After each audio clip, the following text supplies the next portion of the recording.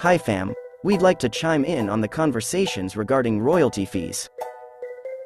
We're not experts, but here's some good reasons why it's okay and why it's common for artists to charge for royalties. Reason number one is that artists deserve to be compensated for their work. Just like any other profession, artists put in a lot of time, effort, and creativity into their craft, and it is only fair that they be compensated for their efforts. Second, royalties help to support artists' careers. It can help them pay for things like studio time, equipment, production, and marketing. This can help them to continue creating and sharing their work with the world. Third, is that royalties help to ensure that artists have a sustainable future. The music industry is constantly changing, and it can be difficult for artists to make a living from their music.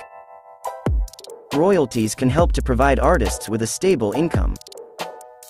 And if we talk specifically about SB19 and their 1Z Entertainment, they definitely need all the resources they can get, especially that they're only starting off as a company, and with their huge goals and plans happening right now and for the future, royalties would definitely be a massive help and resource for all of that.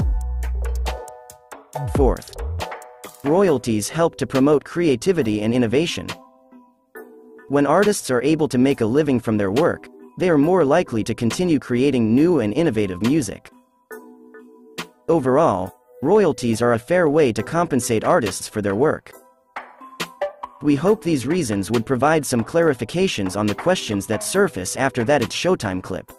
By the way, we also appreciate your support in what we do, we would really love to grow this community, and your likes and subscriptions are really appreciated.